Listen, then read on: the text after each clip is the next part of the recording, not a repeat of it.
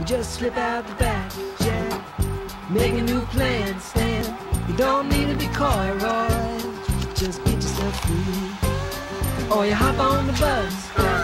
You don't need to discuss much. Just drop off the key, leave, and get yourself free.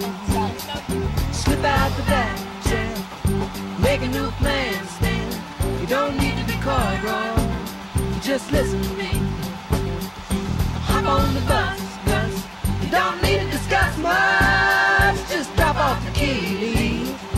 Get yourself free.